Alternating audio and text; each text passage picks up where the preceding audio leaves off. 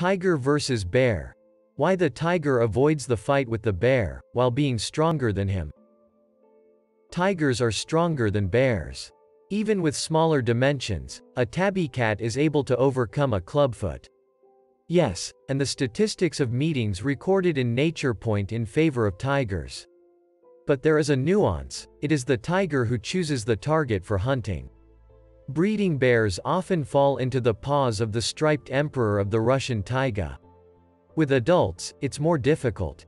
A large hardened brown bear will overcome a tiger due to two or even three times superiority in mass and size. However, in real life, the picture is as follows. Despite the fact that tigers often hunt medium-sized bears, much more often they try to avoid meeting and conflict with a clubfoot.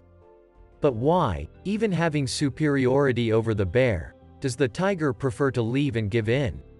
What is it? Peacefulness or cold calculation?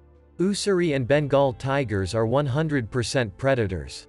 Unlike omnivorous clubfoot, tigers eat only meat, sometimes they can eat fish.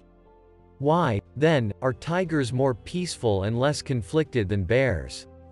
Oddly enough, but it is the lifestyle and conditions for obtaining food that play a key role here. Being an absolute predator, it is important for a tiger to always be in excellent physical shape. Tracking prey, the tabby cat thinks not only about one-time success, it is important for him to maintain his health and physical fitness. If the prey, even for a small fraction, poses a danger to the health of the tiger, he will prefer not to risk it, but will go looking for food easier. When meeting a bear of equal or even inferior size, the tiger prefers to leave so as not to risk his health. Whereas a bear can show courage even when in a vulnerable position. For a tiger, any injury carries a serious danger. The tiger needs to constantly hunt, run fast, and covertly hunt down prey. A wounded tiger will not be able to find food. The bear is more resistant to injury. Most of his diet is plant food, for which you do not have to run.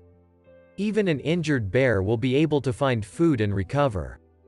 Therefore, the bear is more prone to conflicts and risks, he is not afraid to get hurt.